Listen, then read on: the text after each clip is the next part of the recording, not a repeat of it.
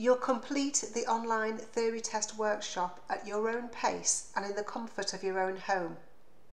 The introduction will tell you all about the workshop and how to complete it. And then there's a section for every part of the syllabus. I'll show you the first section, which is accidents.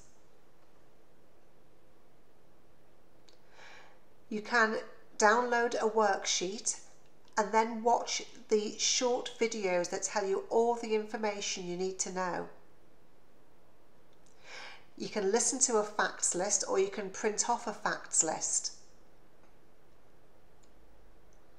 And then you can go and answer the quiz before you go to the question bank and answer all the questions that you may come across about accidents. The next section shows you how to go to the question bank and answer all of the questions within it. You can choose to have the questions read to you. The workshop covers every single topic in the theory test syllabus in the same way. Now you've learnt the facts, the techniques and tactics I discuss in these sections will help you to answer the questions easily.